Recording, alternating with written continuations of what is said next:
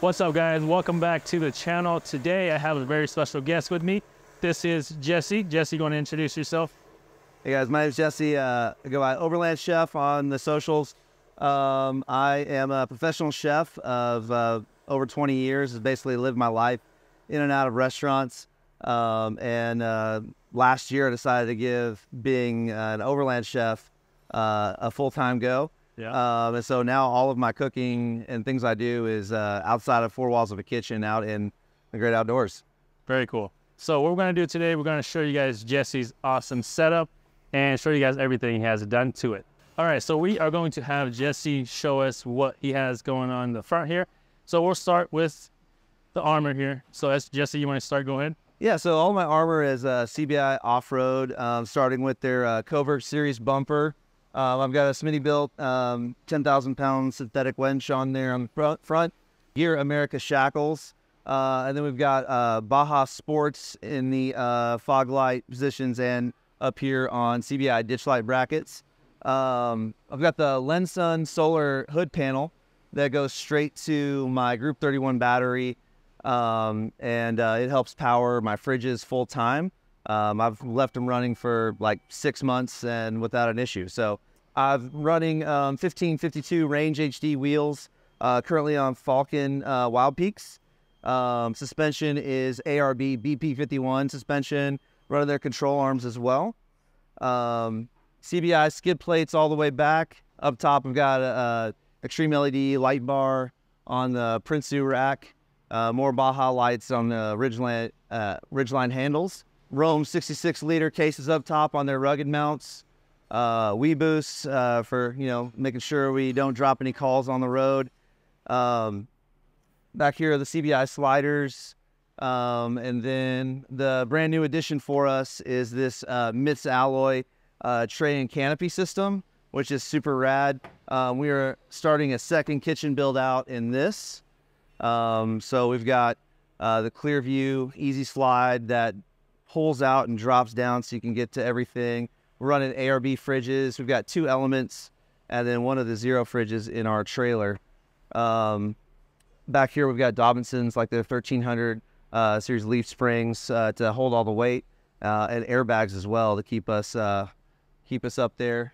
So now let's talk a little bit about the MITS alloy here. So obviously it's a raw material. Do you have any plans for the outside of it? What do you have plans for the inside and all that? Good Yeah, sure. So the whole goal for the MITS was to be able to build um, a primary kitchen out of here, so that when we're doing some hardcore off-roading, we can get um, over some you know hefty terrain and be able to just take this as the kitchen as opposed to the whole uh, trailer setup. Okay. And when we do much bigger events, uh, we can take we can do both. So, yep. So um, we got a lot of plans for this since we literally just picked it up last week. Um, getting some lighting and power management in here. Um, the MITS uh, and some other great companies make all kinds of organization uh, um, from drawers um, and slide out tables to pull out pantries, um, shelves, and all kinds of stuff in here so that we can really, really get it dialed in. Um, the goal is to, you know, not have to be pulling all kinds of heavy things out of the truck. We'll just be able to work completely around the truck. So cool. um, this uh, fridge slide is pretty unique, um, where you just kind of give it a pull out, and then you drop it down Wow. so that we're at uh, a much better height Yeah. for getting access to all the goods. So Toes and try to look Yeah. Yeah. That's really cool. yeah, it kind of goes back just as easy. Very cool. Oh yeah. Yeah, that's awesome. So All right. um, and then we'll get the I'm gonna get the compressor, um, our um, air compressor mounted inside of here because not only do we have to uh, air up and down tires just like everybody else, but Yeah. we use the compressor to pressurize all of our water tanks. We've got 12 gallons right here on the mitt, oh, wow. That's and then we've got another eight gallons on the trailer. All right, now back here to the trailer. I have a very similar one, but yours is built a little bit different and probably way cooler than mine. So, can you show us a little bit about your trailer? Sure. So this is our Rustic Mountain Overland Patrol XTC uh, trailer. Um, it has become the heart of Overland Chef over the last uh, six months or so. Um, we have basically taken our old kitchen setup that was in the back of the truck, moved it to the trailer, and then just gone kind of nuts with it. Um, and so, um, just kind of walking back, we've got you know just sort of where we keep our trailer gear here in this Roam case. Um, our fridge is actually in here with uh, batteries, but we'll pull it out on the other side. Um, we've got a bunch of uh, uh, Rustic Mountain Overland's um, steps. Um, they're heavy duty um, fenders on here.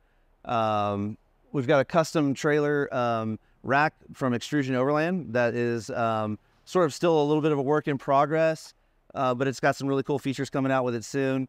Um, we've got tons of RotopaX that we carry with us because our kitchen, um, the water and the uh, sink on it, um, that I'll show you in a little bit, is uh, hook, hooks up to RotopaX, so we kind of swap them out.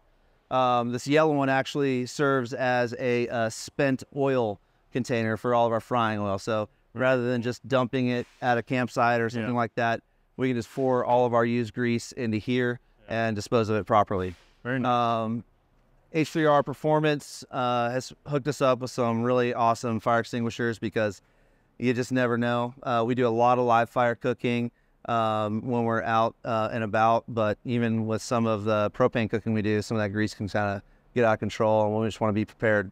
Yep. So, eight gallons of water here that we pressurize, and this is really this bad boy is really to help us spray off dishes. Um, the uh, Free Spirit, this is the Evo 2. This is the most comfortable tent I have ever spent a night in. It is really awesome. Um, it's actually going to live on top of the truck soon um, so that we can just utilize this solely for kitchen.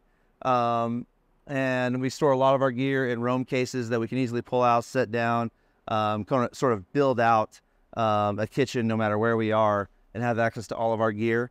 Um, the kitchen right here, which is sort of my pride and joy, um, right here is this pull kitchen. It uh, slides out, sorry.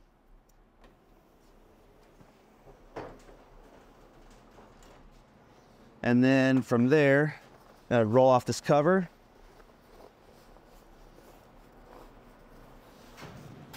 But wait, we're not done.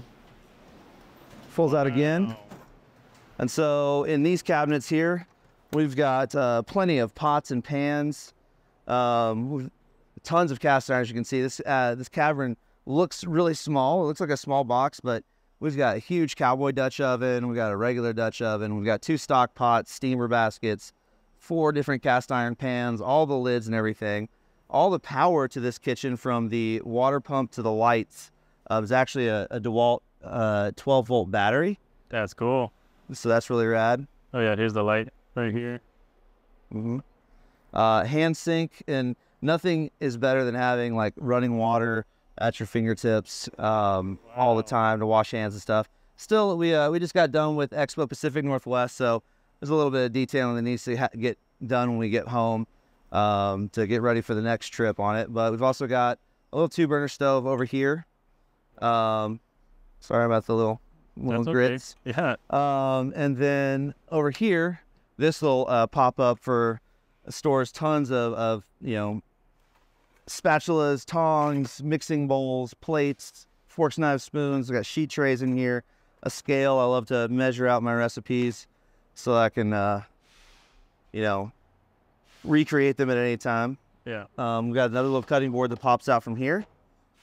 You probably have more kitchen utensils and and stuff Oh my gosh, yeah. I have in my house. and and this is this is only a fraction of it. Like Jeez. we uh the the stuff that doesn't go in the pull kitchen you know we fill a whole nother roam box up with gear and stuff too it really depends uh, there's a different pack out for each one of our like trips and uh and cookouts and you know excursions and things like that we do so Yeah. we have to custom ta tailor what goes in the kitchen based on each trip so That's very cool. yeah Very cool. All right, and so in this tongue box compartment, we actually have another one of our ARB uh, ARB fridges on a Tembo Tusk slide right here.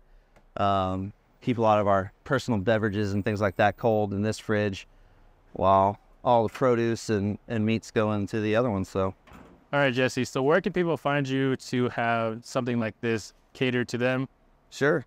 Uh, if you want to reach out to us, the best way is to hit me up on Instagram, just at Overland Chef. Uh, we also online overlandchef.com. You can stay tuned to any kind of news uh, where we're going to be in the area. Uh, we do have an online store coming soon. uh, for some of our merch and some of our um, pantry items like granola, hot sauces, things like that.